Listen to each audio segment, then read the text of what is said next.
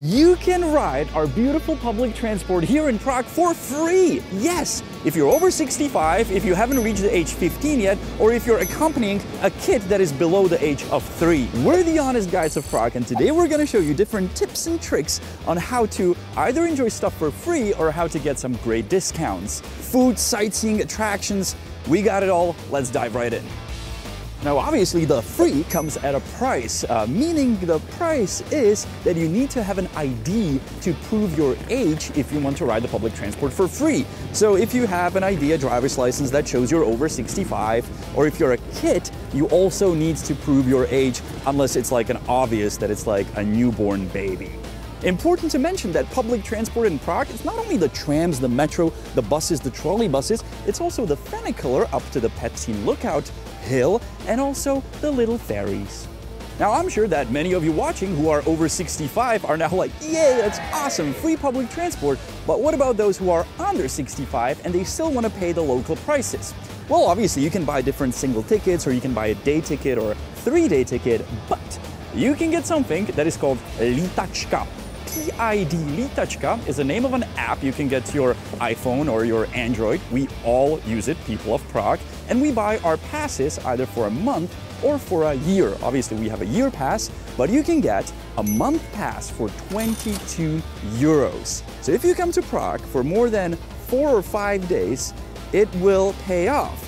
But on top of that, if you have that app, the Lítačka, and you have the coupon for a month in it, you get a lot of discounts. Now you do get small discounts there and back. You're gonna get one euro off visiting any of the Prague towers. You're gonna get 5% off of the Prague Zoo. But if you wanna visit, for example, the Jewish Museum of Prague, you get 50% off. Or if you wanna visit the Lobkowicz Palace, I Will, he's my friend, he gave us a tour. You get 50% off. So maybe if those places are on your list I want to visit, then you should consider getting the Lítačka. And that's not all. Now imagine you have that app, Lítačka, but the tram you were waiting for, it just goes away and you're like, damn, like what am I gonna do now? Well, there's another option for you that is included in that app. Let me show you. Now, this is a tip if you really want to roam Prague like a local. If you have that app that has the monthly pass for the public transport and you connect it with an app that is called Rekola, a pink app for these bike sharing services, you get two 15 minute rentals of these bikes a day for free.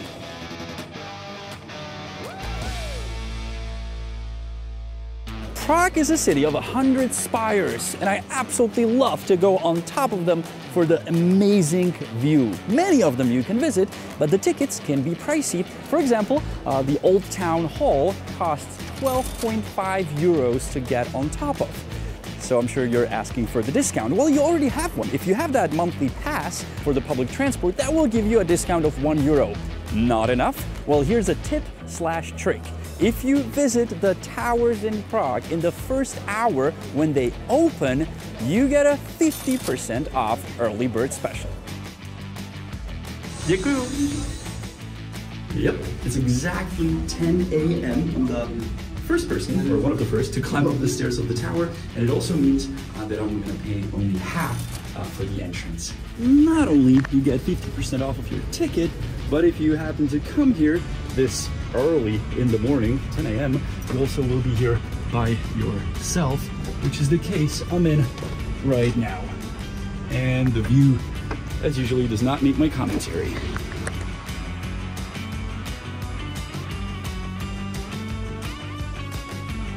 Or if you are really, really, really into towers, you can actually buy a pass that will allow you to visit all the Prague towers, but it will cost you 42 euros. If you break it down to every single tower, it is a good deal, but only if you want to visit all of them. The pass is valid for a full year, so you'll have plenty of time to do so.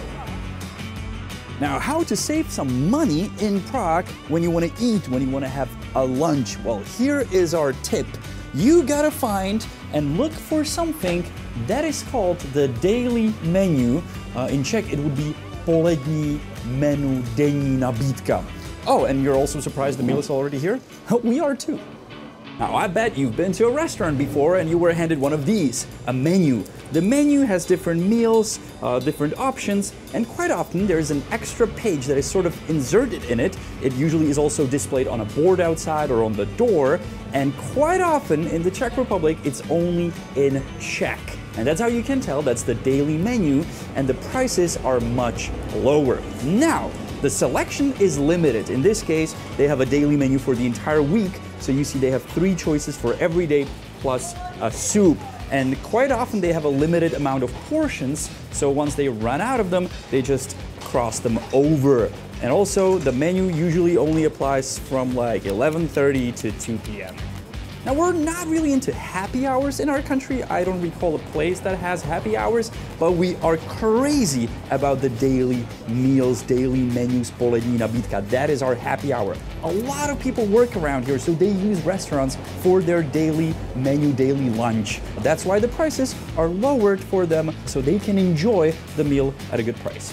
Speaking of the price, uh, this meal and the drink uh, was around 7 euros. You can get as low as 6 euros in some places.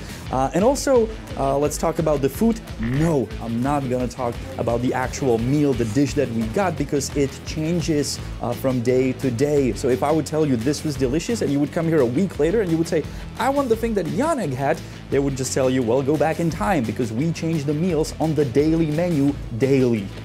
Now this is a good deal. And you know what is also a good deal? A deal from Surfshark VPN from The Honest Guide because if you use our link below the video in the description or our code, you can get the service for three months for free. Now, what's a Surfshark VPN good for, you ask? I'll give you an exact specific example just from the past week from my friend. So my friend wants to watch something and he goes out to the Twitter and he goes, look guys, I'm using this VPN service and this VPN service and I just can't get around the geo block on the site I want to see. And I reach out to him. I'm like, uh, "Have you tried Surfshark VPN?" He was like, "I did not." So I get him hooked up, and he replies back, "Damn, Janek, Surfshark is the only one who got me around, and it's working." So I love these examples. Uh, he was a happy. He sent me a happy GIF. Uh, so you can try it as well. Uh, as I said, the link is below in the description. And if you face a situation where you're limited on the internet in terms of GeoBlock, Surfshark will solve it, and you can use it on unlimited devices. You know what's also unlimited? My hunger. Let's eat. Now, there are other ways how to save money on food, and I'll give you one example. We're in one of the vegetarian restaurant chains where you, it's like a buffet, you get the meals on a plate and then you wait it. And one hour before closing time, not to waste food, they will give you a 40% discount. I know a few places that uh, does this, like uh, Sushi Time, there's also uh, this place that sells the traditional Czech chlebičky. One hour before closing, they got 50% off. I'm sure there's more, uh, so you can just look around for those kind of discounts. Admiring the beautiful architecture in Prague is for free, but I have a better tip for you. Enter that building because that hides something you're gonna love. Now imagine if I told you that there's a place in Prague that will give you money for free. Yep. Welcome to the Czech National Bank. This is the free money. It's shredded, it's uh, worthless, but it's a nice souvenir.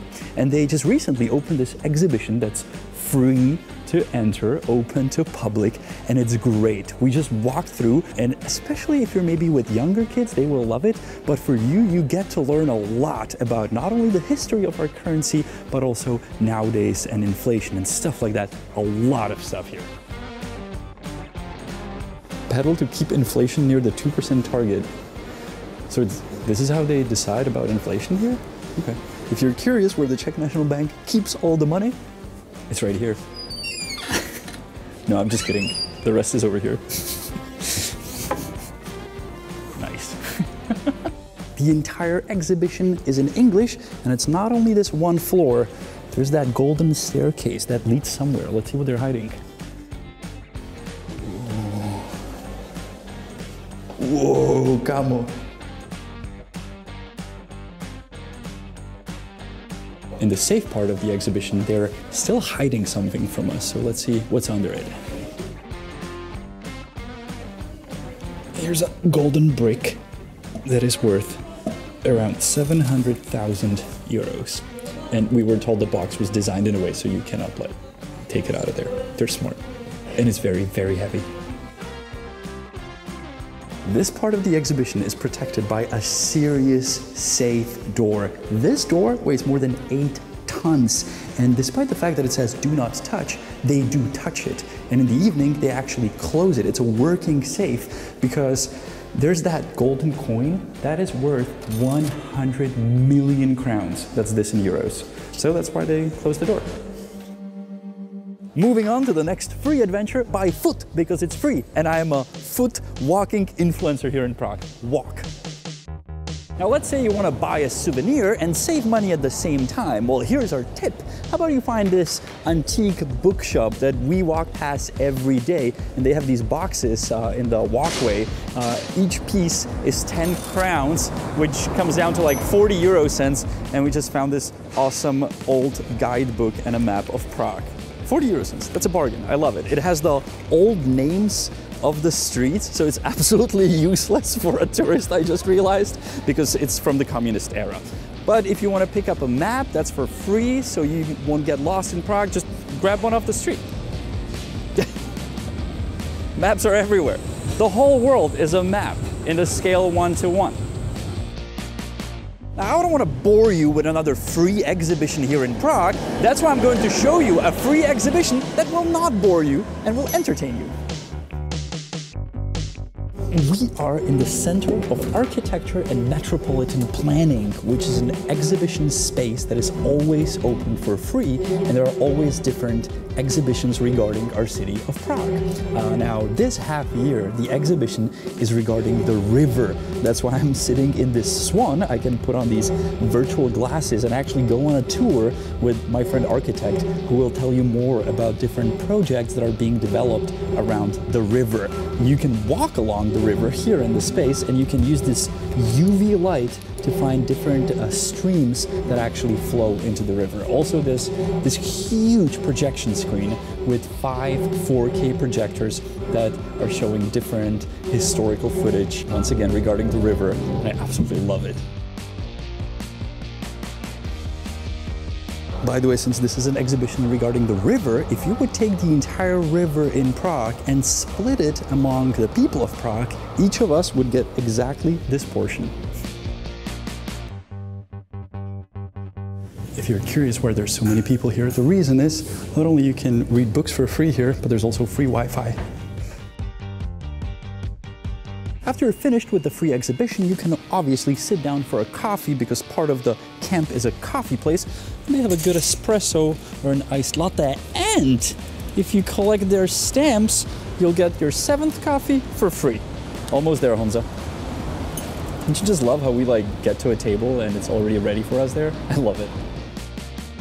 The tips we're giving you today are ones that we locals use on daily basis. Now, we may not know all of them, so maybe if you used some discount or you know a good free venue in Prague, let us know in the comments, uh, or maybe some Czechs can share more insight and more tips with you. We try to be as honest with you as possible, that's why we go by the honest guides. Honza is behind the camera, I'm in front of it, my name is Janek, uh, and we can see each other next week on our channel, The Honest Guide. If you hit subscribe and that little bell, you'll be notified. I'll see you then. And in the end, I'm going to teach you a Czech word, and that is how to say noon. Noon is poledne. Poledne is noon. Uh, so quite often you will see polední menu, which is the noon menu, the daily menu.